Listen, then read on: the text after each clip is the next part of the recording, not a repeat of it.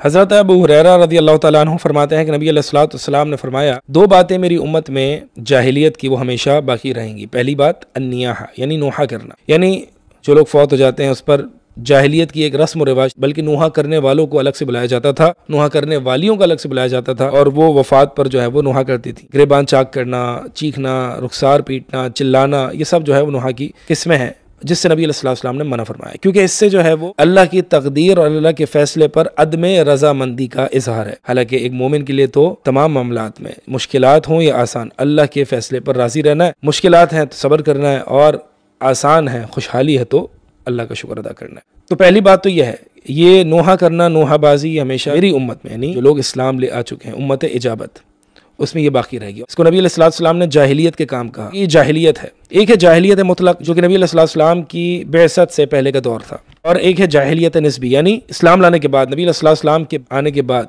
कोई भी जाहिलियत का कोई काम करेगा तो उसको मिन उमूर जाहिली, यानी जाहिलियत का उमूर या जाहिलियत वाला काम तो कहा जाएगा, लेकिन वो जाहिलियत वाला दौर जो नसूस में या कुरान हदीस में आता है, उससे मुराद जो है आपकी बेसत से पहले का दौर। तो एक तो ये है।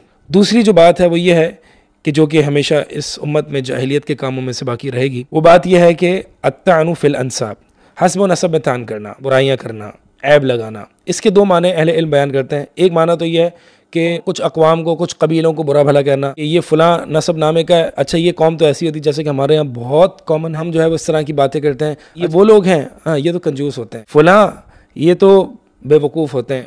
हमारे यहाँ मुल्क पाकिस्तान में मुख्तलिफ़ कबाइल और मुख्तलिफ़ कम्यूनिटी के लोग पाए जाते हैं। कोई उर्दू स्पीकिंग है, कोई मेमन है, कोई पंजाबी हैं, कोई पठान है, वगैरह वगैरह। लिहाजा इस तरह के तान से हमें बचना चाहिए। जाहिलियत वाले उमूर हैं। बुराई और अच्छाई ना हसबो नामे से इसका ताल्लुक है, ना ज़ाहरी शक्ल सूरत से इसका ताल्लुक है। इस्लाम ने जो हमें अच्छाई और बुराई का मैार यानी इज़्ज़त वाला कौन है?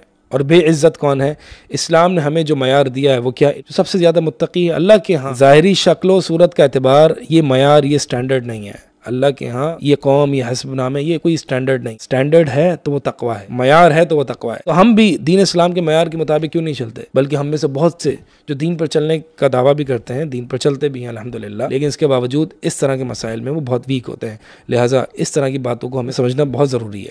तो एक माना तो यह है कि हसब नसब में तान करना। और इसी तरह एक दूसरा माना यह है, किसी फ़र्द के नस्बत, यानी जो उसका हकीकी बाप है, उस पर तान करना कि फ़लाँ तुम्हारा बाप नहीं है। इस तरह की बातें करना। ये सब जाहिलियत के कामों में से हैं। जाहिलियत में इस तरह की बातें होती थी। और अगर जो शख्स कलमा पढ़ने के बाद भी इस तरह के अमूर का मरतकब होगा तो उसको भी जाहिलियत का काम ही कहा जाएगा।